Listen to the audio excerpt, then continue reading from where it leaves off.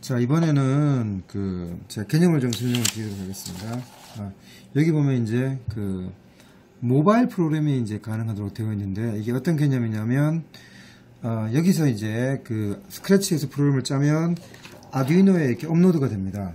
아두이노에 업로드가 되면 이 스마트폰을 하고 얘를 페어링하면 이 스마트 아두이노를 제어할 수 있는 아, 명령이 자동으로 생깁니다.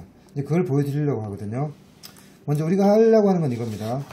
자, 이 스마트폰 화면에 4개의 단추를 만들고 1개의 슬라이드를 만들 겁니다. 4개의 단추는 10번을, 10번의 LED를 껐다 켰다 하는 거하고 11번을 껐다 켰다 하는 겁니다. 그리고 이 슬라이드는 모터의 속도를 조절할 겁니다. 자, 코드를 보겠습니다. 이 코드가 있는데요. 일단, 어, 통신이 가능해야 되겠죠. 통신이 가능하면 어, 모바일 기기로부터 데이터를 읽어옵니다. 모바일 기기가 이제 명령을 보내겠죠. 그래서 어, 명령은 네, 어떤 형식이냐면 명령과 데이터로 이루어져 있습니다. 데이터로 이루어져 있어서 만약 명령 중에서 데이터가 없는 거라면 그냥 명령만 오겠죠. 그 명령이 만약에 init라면 그러면 이 뭘 보내냐면 메뉴를 보냅니다. 메뉴. 즉 이런 메뉴를 4개를 보냅니다. 그래서 메뉴에 종류 버튼 4개죠. 버튼 4개고 그 다음에 슬라이드 바 하나, 그 다음에 위치입니다. 어느 위치에 얘가 가 있니, 있어야 되는지를 코드를 보냅니다. 이렇게 먼저 보내고, 다른 명령 중에 버튼 1, 얘가 눌렸으면 10번 LED를 켤 거고요. 그 다음에 두 번째 단추가, 어, 명령이 왔으면 끌 거고, 세 번째 단추면 10번을 켤 거고, 네 번째 단추 같은 경우는 네, 10번을 끌 겁니다. 그리고 마지막에 슬라이드인 경우에는 데이터가 있겠죠. 그 데이터를 가지고 6번에 연결된 네. 네, 여기 6번에 연결된 모터를 제어를 할 겁니다. 그죠? 모터를 제어를 할 겁니다. 그래서 먼저 얘를 업로드를 하겠습니다. 여기다가 자, 무선으로 업로드를 합니다. 네, 무선으로 업로드를 해서 하기 위해서 누릅니다. 자, 그 다음에 누릅니다. 네, 그럼 업로드가 되겠죠, 이쪽으로. 네.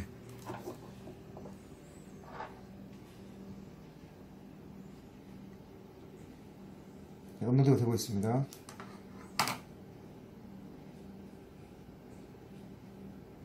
네. 자, 됐습니다. 자, 얘는 이제 노트북을 닫겠습니다. 닫고, 스마트폰을 가지고 해보겠습니다. 스마트폰을 가지고. 네. 자, 스마트폰을 켭니다. 여기에, 에, 저희가 만드는 앱이 있습니다. 그래서 아두이노 블루투스라는 앱을 누릅니다. 그 다음에 연결을 먼저 pairing을 해야 되겠죠. 연결. 네. 그러면 이 기계 이름이 DG Wireless 01이거든요. 그래서 얘를 눌러줍니다. 그러면 이렇게 연결이 되겠죠. 그죠? 네.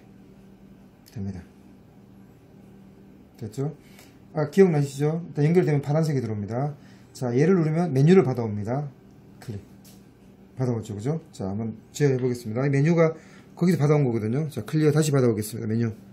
네. 아까 프로그램 짠 거잖아요. 여기에 메뉴가 업로드가 되어 있어서 이게 자동으로 여기에 올라가는 거죠. 자, 네. 켜죠? 끄죠? 네. 같이 보이시죠? 켜고, 끄고, 켜고, 끄고, 온, 온, 오프. 그죠? 네. 제어되죠? 네. 이제 모터를 제어해 보겠습니다. 모터를. 자, 모터를. 네, 움직이죠? 네. 더 빨라집니다. 더 빨라지고, 더 빨라지고, 끄고, 네. 지금 제어 속도 제어가 되죠? 네. 네. 속도가 제어가 네. 오, 네, 너무 빠르고요. 네. 속도가 올라가고요. 올라가고 낮아지고 제어 되죠? 네. 다시 올리고 네. 잘 안 되네요. 네. 네. 오, 너무 빠르네. 네. 끄고 네, 이렇게 됩니다. 다시 또 마찬가지로 켤 수 있고요. 끌 수, 끄고 보겠습니다.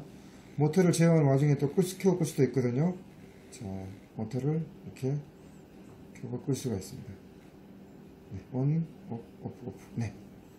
자, 또 속도 올리고, 끄고, 끄고, 켜고, 끄고, 네. 다시요.